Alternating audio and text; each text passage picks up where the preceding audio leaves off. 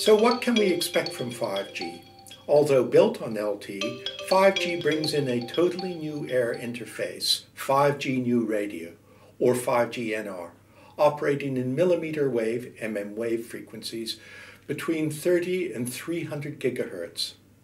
There is also a radical makeover of the radio access network. These allow 5G to support a million connected devices per square kilometer, that is, a bit over a third of a square mile.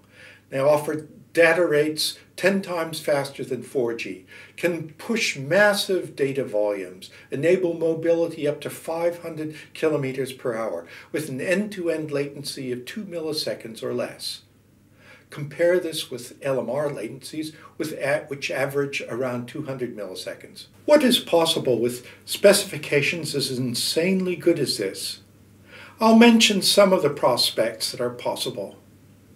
We can have self-driving vehicles, which become realistic because 5G V2X, or Vehicle to Everything, enables vehicles to communicate with each other to automatically avoid collisions.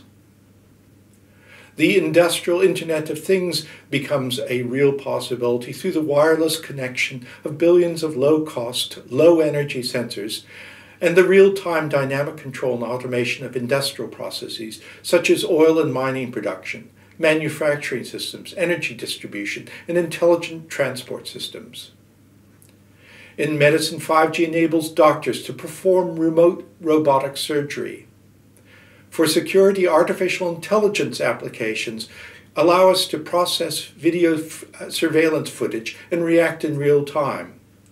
In firefighting, 5G allows using interactive virtual reality simulations to train firefighters on how to deal with complex fire incidents.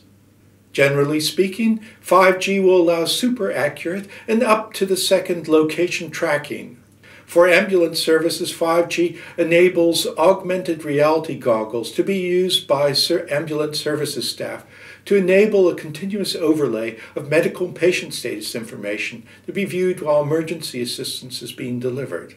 Smart cities with massive sensor network connectivity supporting automated services and infrastructure become possible. The list goes on, but don't expect miracles to come with the first appearance of 5G. These are enormously complex and high-risk applications with all the behavioral details, complementary technology, and economics still to be worked out. 5G is simply part of the enabling infrastructure that makes the imaginable seem achievable within the ne next decade or so. It is seen as the enabling technology for the next industrial revolution, predicted to emerge from the industrial Internet of Things.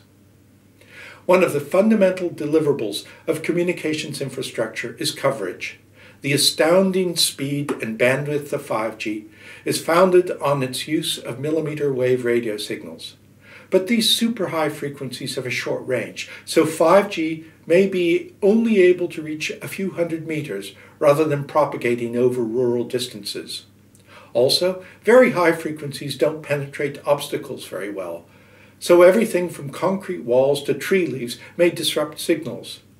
To achieve the everywhere, anywhere coverage that critical communications expects, lots and lots of small cells, densely clustered, will need to be installed both inside and outside buildings.